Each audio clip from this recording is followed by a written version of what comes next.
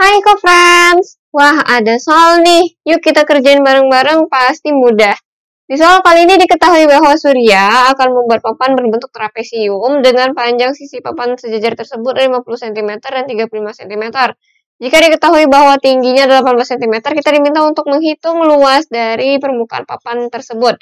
Di mana untuk mengerjakannya kita perlu mengetahui luas dari trapesium, rumusnya adalah jumlah sisi sejajar dikali tinggi per 2 dengan prioritas operasi hitung adalah kita harus mendahulukan operasi yang berada dalam tanda kurung, kemudian perkalian pembagian, kemudian penjumlahan atau pengurangan. Nah, jika setara maka kita kerjakan dari yang sebelah kiri. Di mana ini adalah berikut ini merupakan gambar dari sebuah trapesium. Di mana bahwa panjang sisi sejajarnya yang paling panjang 50 cm dan yang paling pendeknya adalah 35 cm. Sedangkan untuk tingginya diketahui adalah sama dengan 18 cm meter.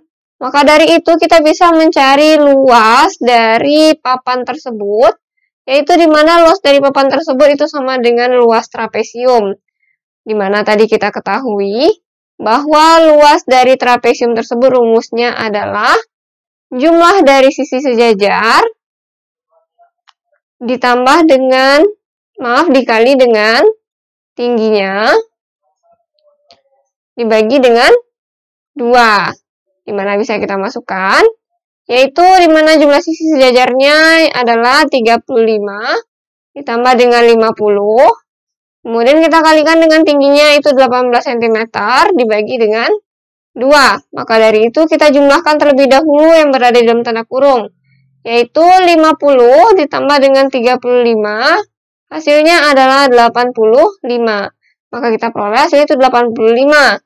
Sedangkan untuk 18 dibagi 2 hasilnya adalah sama dengan 9. Jadi kita peroleh itu 85 dikali 9.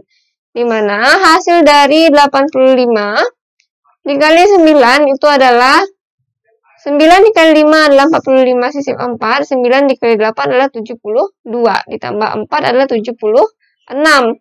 Maka dari itu kita peroleh bahwa luasnya adalah 765 cm persegi. Yeay, kita berhasil mengerjakan soal kali ini kok friends, kerja bagus. Nah, karena kita telah menyelesaikan soal kali ini, maka sampai jumpa di soal berikutnya ya. Tetap semangat belajarnya.